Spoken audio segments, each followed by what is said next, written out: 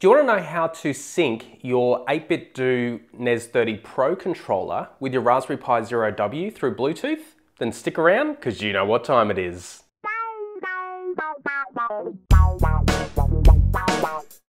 So the 8BitDo controllers are really great looking controllers. They feel nice in the hands. They're a little bit small for me, but they're really, really nice controllers. Uh, with the two analog sticks and the two buttons on top for the left and right each, I should say. This is a fantastic retro gaming console controller. But one of the problems that a lot of people have is the syncing through Bluetooth with their Raspberry Pi Zero W or Raspberry Pi 3. So what I'm gonna do in this video is I'm gonna show you how to sync it properly and make it sync every time you reboot your Raspberry Pi 3 or Raspberry Pi Zero W. Now, if you haven't already, the RetroPie image that's currently available, which is 4.1, doesn't actually work with the Raspberry Pi Zero W. So I've got a fix for that and it's up here right now if you wanna go and see that video. But in saying that in the future, if it's up to 4.2 or plus, then you won't have to worry about this fix anymore. So one of the first things you need to do with your 8BitDo controller is you need to make sure that the firmware is up to date. Now, at the moment, at the time of this video at least,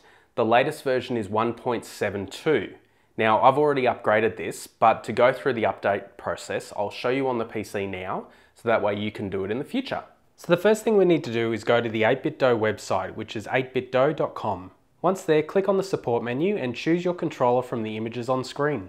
Now you need to click on the gear icon underneath firmware. You can see the latest version for me is firmware version 1.72. Click on the link to download it. So one of the things with the firmware on the 8BitDo controller is you need to use this cable. And the other thing you need to do is make sure that you put it into the firmware mode. And to do that, you need to hold down the start button and the wireless sync button for about five to 10 seconds, and then it will start flashing yellow. You need to make sure that you don't have the USB plugged in because if you do, it won't register that it needs to be put into firmware mode. So once it's flashing yellow, you need to put it into the controller and then into your PC and then start up the software. After you've extracted the firmware to its own folder, open up the executable file. If you plugged in your controller and the yellow light is flashing, you should see the button highlighted. Click on the USB update button and navigate to the files you just extracted. You should see a firmware.dat file. Select that and it will tell you what firmware that file is, which in this case is 1.72, and what firmware your current controller is. In my case, it's 1.71. Click on OK and this will start the flashing process. Don't touch the controller or PC until it is finished. Once it's completed successfully, it will come back with a message saying firmware upgraded. Click OK here, and now you can remove your controller. Now that we've gone through the firmware updating stage, what we need to do now is we need to jump over to the Pi to actually sync it with the Raspberry Pi Zero W.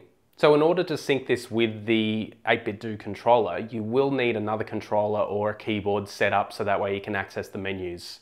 So once you've done that, you need to get into the menu and then go down to Bluetooth.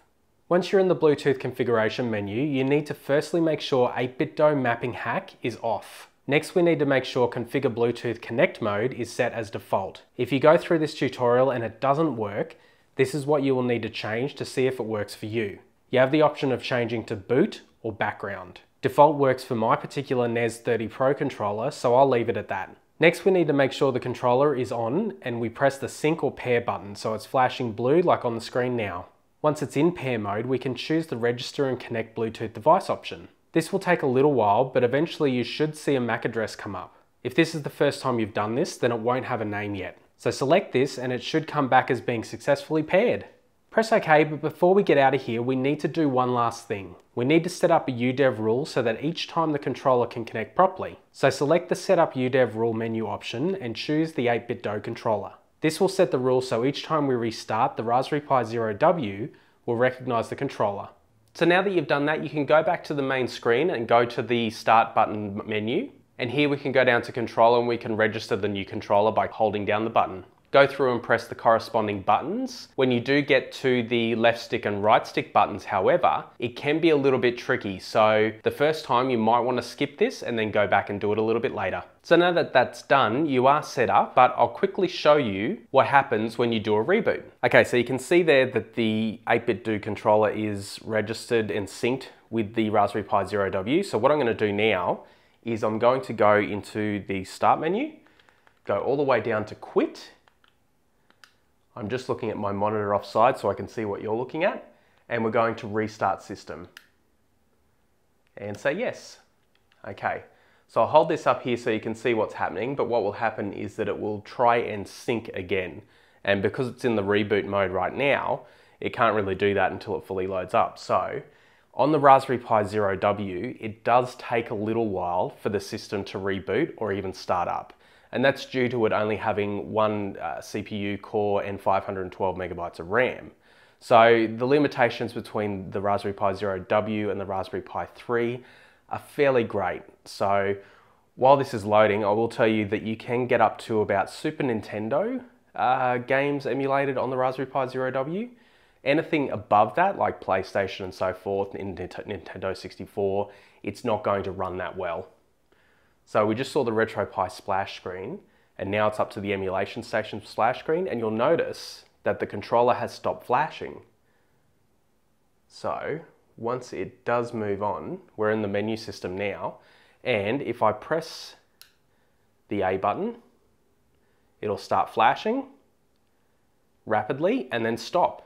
Now it is fully synced, so if I press start, there we go. It's resynced after a reboot. Awesome! So one of the things with this 8BitDo controller is that it does require things to be done in a certain order and very specifically. So make sure you follow this tutorial to the letter. Let me know down in the comments if you had any trouble with this. I'll see if I can help out. Also, let me know if this worked for you down in the comments and also give it a big thumbs up too if it did. Make sure you subscribe to this channel for more great videos and if you're already a subscriber, make sure you hit that bell icon too. And as always, imagine, learn, create.